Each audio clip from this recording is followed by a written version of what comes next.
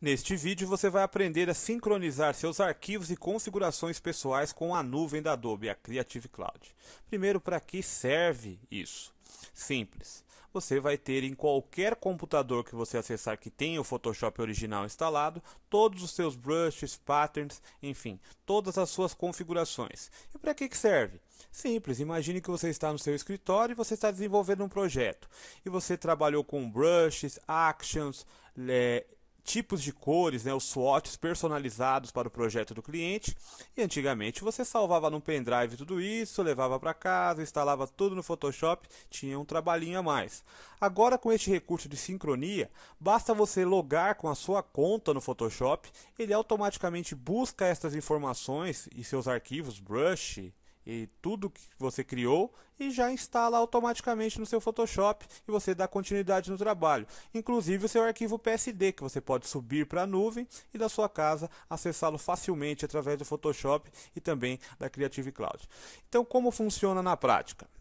Primeiro você precisa logar na sua conta da Creative Cloud, então você dá um clique no ícone da Creative Cloud, abre aqui a Creative Cloud, caso você não esteja logado, vai pedir o seu nome de usuário e senha da Adobe.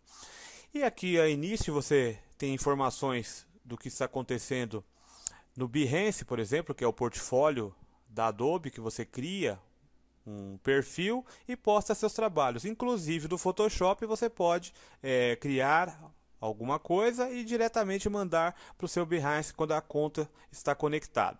E já sobe tudo certinho lá, o pessoal pode curtir e comentar seus trabalhos e projetos em andamento. Aqui tem a aba do Behance, né, que é o seu perfil que você atualiza e tal.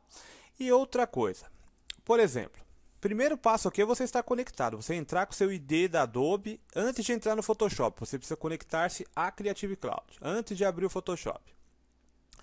Mas imagine que você está no seu escritório e a sua empresa tem, a, tem um, a conta da Adobe. Então a sincronia está sendo realizada através da conta da empresa e não a sua conta pessoal com a Adobe. Como você fazer para desconectar e conectar, logar com a sua conta? Tem este, esta engrenagem aqui no cantinho, você dá um clique aqui e tem aqui as preferências. Eu vou explicar um pouquinho das preferências aqui. Aqui te mostra a versão da Creative Cloud, seu ID, qual que é o ID que está logado. E para você desconectar, basta sair da Creative Cloud, ó, clica aqui nesse botão sair da Creative Cloud e vai pedir novamente login e senha. E você entra com o seu login e senha ou login e senha a qual você preferir e tiver as configurações que você precisa para a sincronização.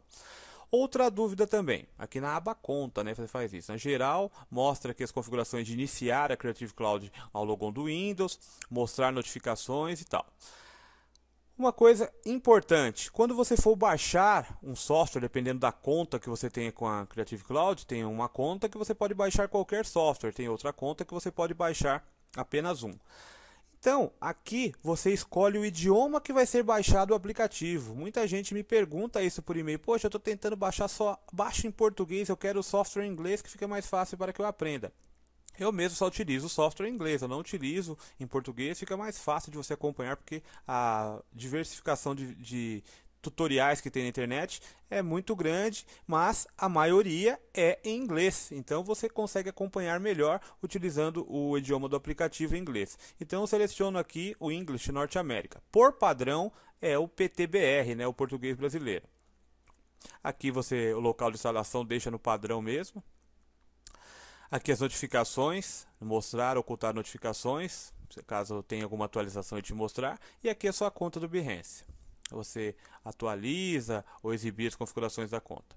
Então é simples. Primeiro você se loga, como eu já falei, você quer entrar em outra conta, você sai da Creative Cloud e entra com outra conta.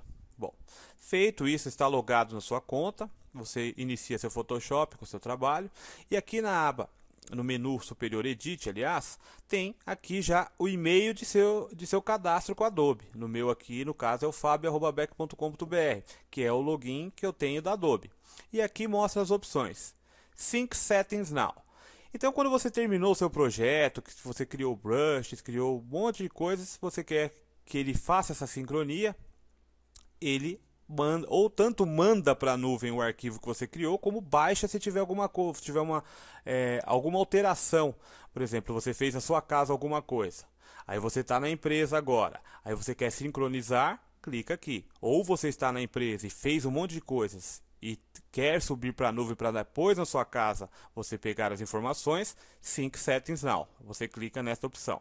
Então você vai clicar aqui, ele faz essa sincronia e tranquilo. Agora, as opções aqui, ó. Aí já te mostra aqui, ó, sincronia 0 off 0, porque já não tem nada de alterado aqui no Photoshop. Se ele se eu tivesse alterado alguma coisa, ele ia mostrar o que foi alterado. E essa sincronia, por exemplo, a quantidade de, de informações, por exemplo, quantidade de brushes que você tem. Brushes são arquivos pequenos, dá para você colocar bastante coisa na nuvem. É, arquivo PSD já é um pouco mais pesado dependendo do projeto. SWOTs, aqui as cores personalizadas também é arquivo pequeno. Só que isso depende do plano que você fez com Adobe. Se você tem um plano de 2 GB de espaço, 20 GB, isso depende da sua assinatura. Aqui tem a opção Manage Sync Settings. Então, clicando nessa opção, abre aqui abre a preferência do Photoshop e você tem as opções que te mostra o seu login, a última sincronização que foi feita, na minha no caso não tem, porque eu não alterei nada aqui no Photoshop. O Photoshop está zerado que eu formatei o computador até para gravar este curso. E aqui tem o Sync Settings. Sync Settings, se você desabilitar isso aqui, não sincroniza nada. E aqui você determina o que, que você quer que faça essa sincronia. Preference, as preferências que você alterou aqui, por exemplo, preferência é, de performance, de quantidade de vezes que você vai poder é, fazer o, o Ctrl Z, né, desfazer uma ação que você configura aqui na, na performance. E Actions, que você vai querer que sincronize as ações que você criou e salvou no Photoshop, seus brushes, cores, que é o swatch, estilos, gradientes, contours, patterns, custom shapes e o tool presets.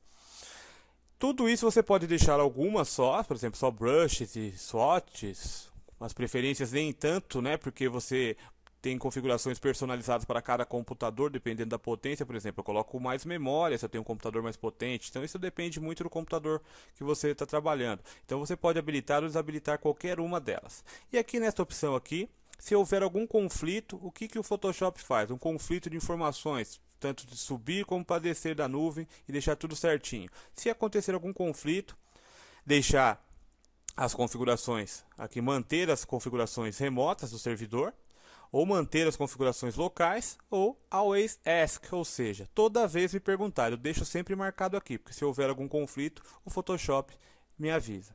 E clica em OK, beleza, você faz as suas configurações. Agora, essa outra opção aqui, Manage Account Online.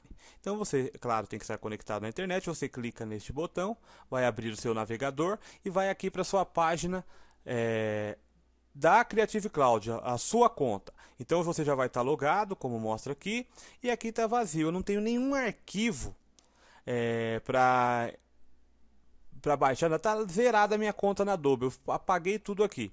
E aqui eu posso o quê?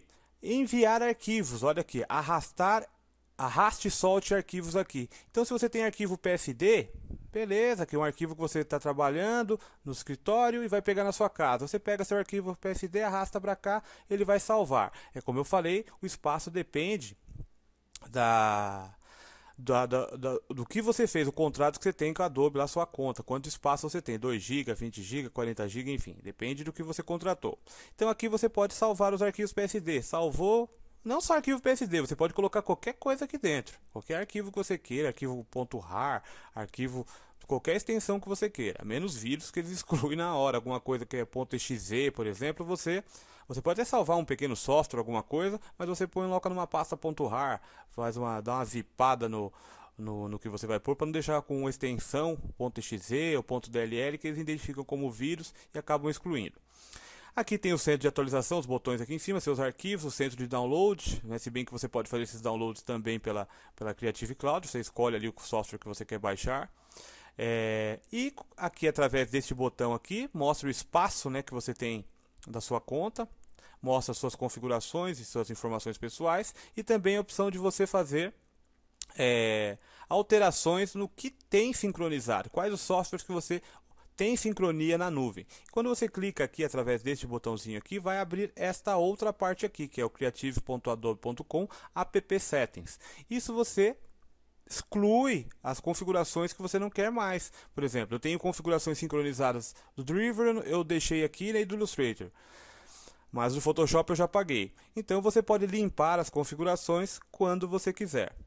Fazendo isso, você tem sempre os seu, seus arquivos sincronizados, tudo certinho. Então você pode acessar no computador da sua casa ou até mesmo, por exemplo, se você tem no notebook o Photoshop instalado e você tem num PC. Então você sempre mantém os dois com a mesma coisa. Você está trabalhando no notebook, na cozinha, tomando um café, tem suas configurações do PC que está na sua sala e vice-versa. E uma outra facilidade também é que você pode formatar o seu computador e você não vai perder seus brushes, seus patterns, enfim, suas configurações do Photoshop. Então fica aí mais esta dica.